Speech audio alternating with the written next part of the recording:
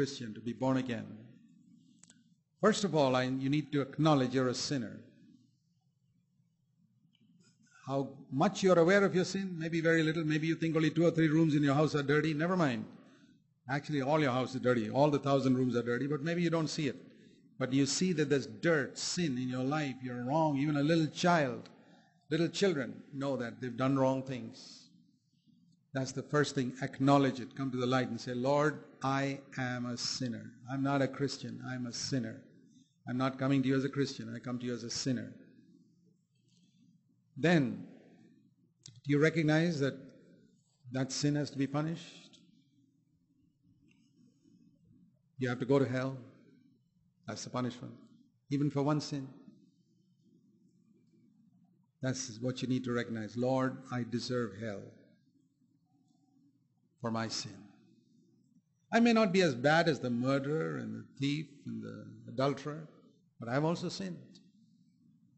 I violated your law. And the Bible says if you violate one law, it's as bad as um, if you got a good chicken curry, how many lizards do you have to put inside to spoil it? 10, 20, or 1? Supposing you put only one, another fellow put a 500. You say, my curry is better than yours. Yours is unfit for eating too. How many drops of poison do you need in a glass of milk to corrupt it? One drop or 20 drops? One? Enough to kill? One sin makes you as much a sinner as someone who has committed 500 or 5 million. Because sin is poison. It's polluted your whole system. So don't compare yourself with others. Finish with that today. Lord, I'm a sinner, I deserve hell. See, if you don't take this position, if right at the beginning you think you're a little better sinner than the other fellow, I've got only two lizards in my curry, he's got ten, or I put only three drops of poison in my glass, he put 500.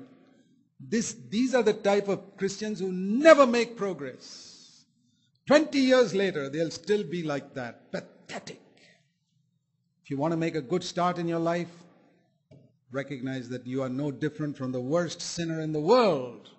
I am just as guilty as anybody else, even though I haven't put so many drops of poison as he did. But I deserve hell. I tell you, it's what I did to change my life radically. I know many people in CFC and other places who have never come to that place in their whole life. You see them 20 years later, they still think they're better than somebody else. They don't grow spiritually. You want to be like that? Or you want to be a radical, wholehearted Christian? Be a good Christian right from the beginning. Don't be a drifter. So that's important. Lord, I deserve hell. But I know with all my heart that you died for me. It was my sin that crucified you on the cross. You died because of my sin. I want to hate sin in my life because you died there. And I believe with all my heart that you're the Son of God. You rose from the dead. I want you to come into my life, rule my life as my Lord. I want you to give me your spirit to dwell in me. I want to be born again. And then you can be born of the Holy Spirit. Because God's word says in John 1 verse 12, it says, as many as received him, John 1 verse 12, as many as received him, to them he gave the right to become children of God, even to those who believe in his name. So if I receive him, he gives me the right to be a child of God. So faith means a committing of myself to Him, not just believing. You can believe in somebody, but you may not commit yourself to Him. It's like asking a woman at the marriage, uh, at the wedding ceremony, are you willing to give yourself to this man? That is faith. Supposing he, she says, yeah, I believe he's a good man. I think he's a very good man, actually. Oh, don't you want to marry him? No, that I have to think about. You can't be married. To, to, what is that woman choosing in marriage? She's saying, I'm going to change my name from today. I'm going to be Mrs. So-and-so. I'm going to, I'm not going to live with my parents anymore. I'm going to live with this man. I don't know where he's going to take me, but I'm going to go with him. That is true Christianity. You know what it, the word Christian if I could say it reverently, it's like saying Mrs. Christ. I got married. When did my wife take my name? When she got married to me. You can't take Christ's name till you're married to him. Of course, so many people can go around saying they are Mrs. Who didn't know my name, but they're not. So many people can go around saying they're Christians. They're not. Are you married? Then you can take his name. Have you surrendered to him? Have you said, I'm yours now? Not just for one or two days. People don't get married for one or two days. They don't drift in and out of that fellow's house. so many people are like that and they think they're Christians. They're not Christians. No, Christian, I've committed. Believe means that. That's the meaning of believe. I've committed myself totally to this person from this day. I'm not asking you for any half-hearted committal. Total commitment. If you don't want to get married, go home and think about it.